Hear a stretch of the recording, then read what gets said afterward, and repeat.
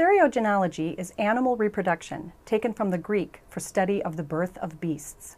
If you have a dog, your veterinarian probably has already spoken to you about controlling reproduction in that dog, most likely through a spay or castration surgery. Millions of dogs are euthanized in the United States every year because we have more dogs than there are adoptive homes. Some people suggest this means we should never purposefully breed dogs. Yet people want to own purebred dogs because of the specific characteristics of those breeds and to work with those dogs in showing, obedience, or other activities.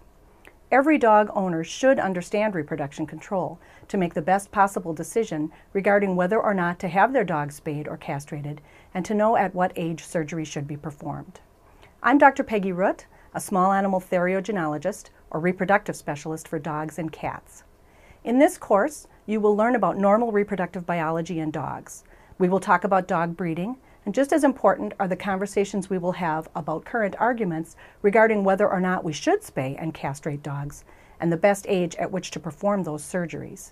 Finally, you'll learn about diseases of the reproductive tract that can occur in any dog, whether or not they've been spayed or castrated, to help you better understand your dog's health and recommendations you may get from your veterinarian.